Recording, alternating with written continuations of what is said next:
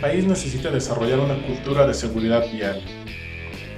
Es importante que todos los usuarios de las vías, incluyendo los peatones, los conductores de autos particulares, los ciclistas, motociclistas, conductores de transporte escolar, de servicio público de pasajeros, de transporte de carga.